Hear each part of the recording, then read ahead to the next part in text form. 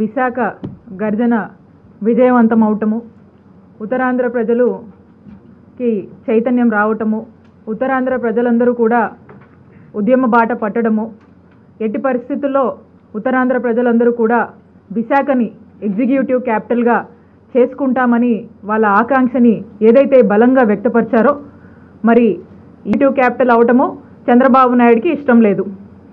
ఇష్టం లేకపోగా రానున్న కాలంలో చంద్రబాబు నాయుడికి అలాగే రోజుకొక కథనం. ఏదో ఒకటి ఏదో ఒక అంశాన్ని లేవనెత్తడము ఈ ప్రభుత్వం మీద జగనన్న ప్రభుత్వం మీద బురద జల్లడము అలాగే విషపు రాతల్ని పూర్తి స్థాయిలో కూడా ప్రచారం చేసే పనిలో ఈనాడు వేదికగా రామోజీరావు గారి అండతో చంద్రబాబు నాయుడు గారు ఈ విధంగా చేస్తూ ఉన్నారు. మరి అలాగే ఏదైతే ఈ విష ప్రచారాలు చేస్తున్నారో దాంట్లో భాగంగా ఈరోజు ఈరోజు వీళ్ళు అంటారు ఏదైతే ఈనాడులో ఉద్దానాన్ని ఏం ఉద్ధరించారు అని మాట్లాడతారు ఈనాడు పత్రిక ద్వారా. అయితే ఉద్దానాన్ని ఏదైతే ఏం ఉద్ధరించారు అని రామోజీరావు గారు తన ఈనాడు పత్రికలో చంద్రబాబు నాయుడు కోసము ఏదైతే రాస్తా ఉన్నారో ఈ వార్త చదివితే రామోజీరావు గారి ప్రస్తుత మెంటల్ కండిషన్ మీద అందరికీ కూడా ఖచ్చితంగా జాలేస్తుంది. ఎందుకంటే ఏదైతే టీడీపీ కోసమో చంద్రబాబు నాయుడు గారి ప్రయో ఆయన ప్రయో ప్రయోజనాల కోసం ఏదైతే ఈనాడు పత్రిక పనిచేస్తుందో ఈరోజు ఈనాడు పత్రికకు సంబంధించి ఏదైతే ఒక పవిత్రమైన అక్షరాల్ని ఈరోజు ఈనాడు వాళ్ళు ఖచ్చితంగా అమ్ముకుంటున్నారని అర్థమవుతా ఉంది. ఎందుకంటే అక్షరాలతో ఏదైతే వ్యాపారం చేస్తున్నారో ఇవన్నీ కూడా స్పష్టంగా మనకు ఈనాడు పేపర్లో రామోజీరావు గారు రాసే రాతల ద్వారా మనకి స్పష్టంగా అర్థమవుతా ఉంది. అయితే ఉద్దానం ప్రాంతంలో ఈ కిడ్నీ సమస్య అనేది దశాబ్దాలుగా ఉంది. అంటే ఈ ఈ కిడ్నీ సమస్య అనేది దాదాపుగా సెవెంటీ ఫైవ్ ఇయర్స్ నుంచి వచ్చింది. ఇదేదో ఉద్దానం సమస్య. జగన్మోహన్ రెడ్డి గారు ముఖ్యమంత్రి అవ్వంగానో లేకపోతే ఈ మూడేళ్ళలోనో అప్పటికప్పుడు వచ్చినటువంటి సమస్య కాదు. సెవెంటీ ఫైవ్ ఇయర్స్ నుంచి ఇట్స్ బీన్ దేర్. ఈ సమస్య అనేది ఉంది. దీనికి ఏదైతే అక్కడ ఉన్నటువంటి ఉద్దానం ప్రజలు ఏదైతే కిడ్నీ వ్యాధితో బాధపడతా ఉన్నారో వాళ్ళందరికీ అండగా నిలబడదామనే కర్తవ్యం కానీ అదే కర్తవ్యాన్ని కానీ ఏ రోజు కూడా చంద్రబాబు నాయుడు గారు చేయలేదు. ఆయనే చెప్పుకుంటాడు. నలభై ఏళ్ళ ఇండస్ట్రీ అని చెప్పుకుంటారు. చంద్రబాబు నాయుడు అంటాడు. పద్నాలుగేళ్ళు చంద్రబాబు నాయుడు గారు ముఖ్యమంత్రిగా చేసి ఏ రోజు కూడా మేము అడుగుతున్నాము. మేము అడుగుతున్నాం ఎందుకు రామోజీరావు గారికి కనపడలేదు? ఏ ఉద్దానానికి చంద్రబాబు నాయుడు ఏం ఉద్ధరించారని రాయాలని చంద్ర- రామోజీరావు గారికి ఏ రోజైనా అనిపించలేదా?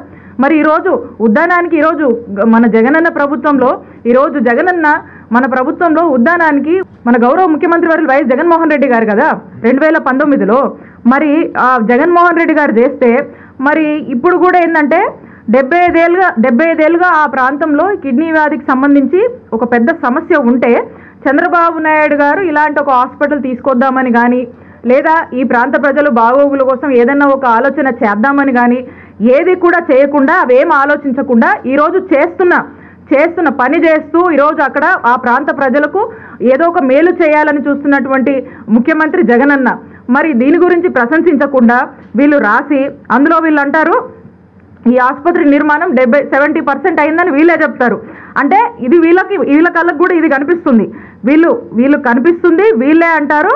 అయితే ఇంత ఇంత గొప్ప ప్రాజెక్టుని ఇంత గొప్ప ప్రాజెక్ట్ని కేవలం ముఖ్యమంత్రి అయిన నాటి నుంచి అంటే ఒక మూడు నెలల్లో కాలంలోనే దీన్ని శంకుస్థాపన చేసి దీన్ని చాలా కోవిడ్ వల్ల కొంత కొంత ఆలస్యమైన పరిస్థితి ఉండొచ్చు. అయినప్పటికీ ఎందుకంటే కోవిడ్ అనేది మనం ఊహించింది కాదు వచ్చింది. అయినప్పటికీ కూడా వార్ ఫుటింగ్ బేసిస్లో ఈ పనులన్నీ కూడా మొదలై ఇప్పటికి సెవెంటీ పర్సెంట్ కంప్లీట్ అయ్యి రేపు రానున్న కాలంలో అంటే by March twenty twenty three కల్లా ఈ పూర్తిగా కంప్లీట్ చేసుకొని దీన్ని ప్రారంభించబోతున్నారు జగనన్న.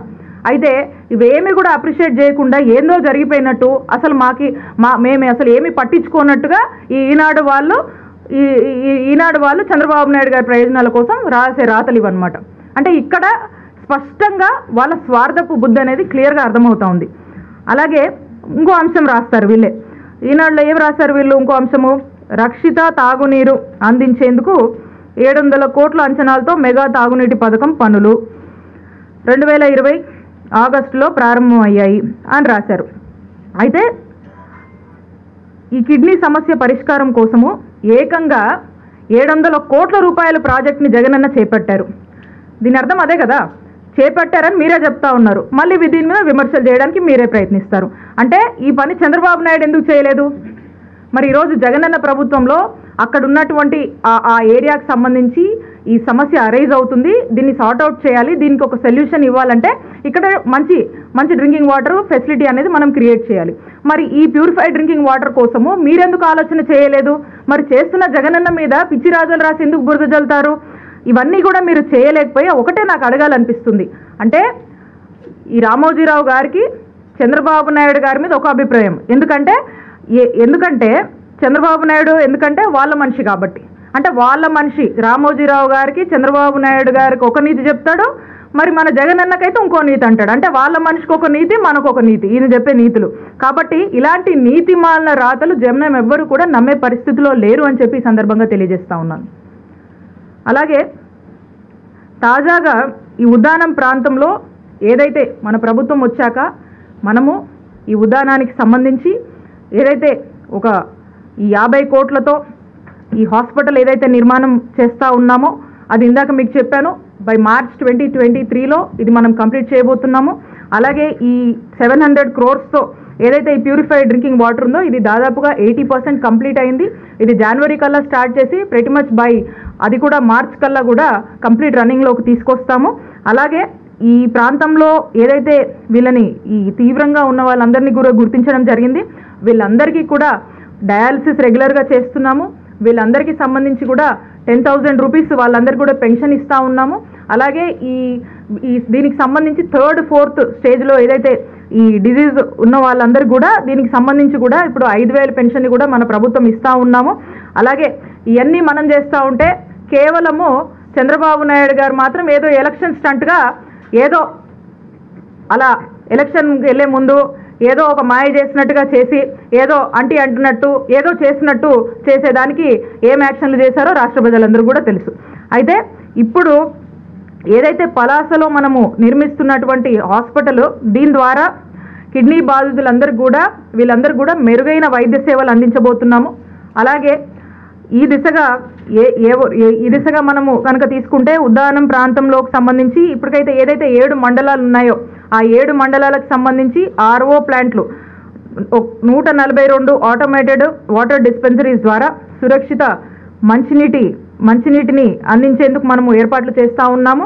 అయితే ఈ కనీసము కనీసం ఏదన్నా ఒక టెంపరీ అరేంజ్మెంట్స్ చేసి వాళ్ళకి ఏదైనా చేద్దామన్న ఆలోచించిన పాపాన పోలేదు చంద్రబాబు నాయుడు గారు. మరి ఈరోజు వాళ్ళు స్వార్థపూర్వకంగా ఈ రాతలు రాసి ఈరోజు జగనన్న ప్రభుత్వం మీద ఈ విధంగా దుష్ప్రచారం చేయటము బురద జల్లే పనులు చేస్తూ ఉన్నారు. అలాగే ప్రాథమిక దశలో ఏవైతే కిడ్నీ వ్యాధికి సంబంధించి ఎవరినైతే గుర్తు చేసాం వీళ్ళకి సంబంధించి సెవెంటీన్ ల్యాబ్స్ని కూడా మన ప్రభుత్వం ఏర్పాటు చేసి అలాగే సెమీ ఆటో అనలైజర్ ద్వారా serum creatinine blood urea levels పరీక్షలు కూడా చేస్తున్నాము. వీటి ద్వారా ఈ కిడ్నీ వ్యాధిని కూడా కంప్లీట్గా ఈ ప్రాథమిక దశలోనే గుర్తించి వాళ్ళ విలువైన జీవితాలని కాపాడే ప్రయత్నం మన జగనన్న ప్రభుత్వం చేస్తోంది. అలాగే ఇవేవి కూడా చంద్రబాబు నాయుడు పట్టవు పట్టించుకోలేదు. పట్టించుకునే ధ్యాస కూడా లేదు. కనీసము పట్టించుకుంటున్నటువంటి జగనన్న ప్రభుత్వం మీద బురద ప్రయత్నాలన్నా మానరు. ఏదో ఒకటి అంటానే ఉంటారు ఏదో ఒకటి అనాలి. ఎందుకంటే ఎప్పుడు కూడా ప్రజల్లో ఒక నెగిటివ్ ఇంప్రెషన్ ఇవ్వాలి ఏదో ఒక మ్యానిపులేషన్ నడుపుతానే ఉండాలి. ఇది చంద్రబాబు నాయుడు గారికి కావాల్సింది. అయితే మా ప్రభుత్వం వచ్చాక జగనన్న ఏకంగా ఈ ఐదు చోట్లు కవిటి సోంపేట పలాస హరిపురం టెక్కలి ఆసుపత్రుల్లో ఏకంగా సిక్స్టీ ఫైవ్ డయాలసిస్ యంత్రాలని కూడా సమకూర్చి ఈ డయాలసిస్ సెంటర్ని అభివృద్ధి చేశారు.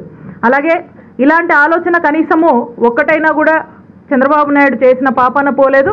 కనీసము ఈనాడు వాళ్ళు ఇలాంటివి చేస్తే కనీసం మద్దతు కూడా ఇవ్వరు. ఎందుకంటే వాళ్ళకి చంద్రబాబు నాయుడే ముద్దు కాబట్టి. అలాగే ఇవన్నీ చూస్తుంటే ఒకటే అనాలనిపిస్తూ ఉంది.